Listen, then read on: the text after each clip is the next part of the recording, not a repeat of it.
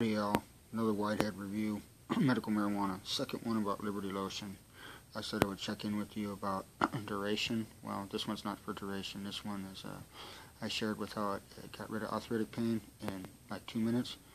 Well, I also suffer from um, migraine headaches, uh, migraine type headaches, and uh, my neck cracked. And ooh, by the time I reached home, I was in pain level, say, 7, a good strong 7, tears starting to form.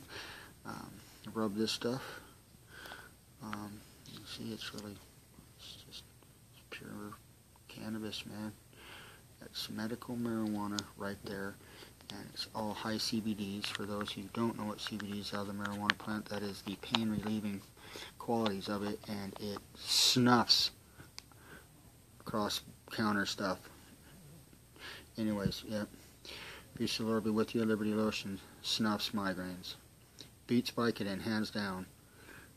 Because um, if I had taken a Vicodin, I'd still be in pain. And most likely have to take another one and another one and another one. And all I'd end up doing is getting drugged and more and more toxic and I don't know.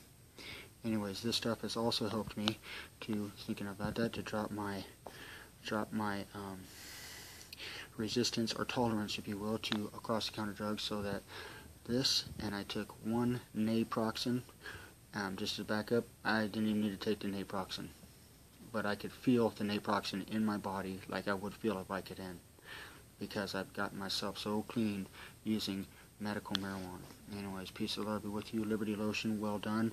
You've got a client for life if you can keep this up. Whoop, whoop. Peace.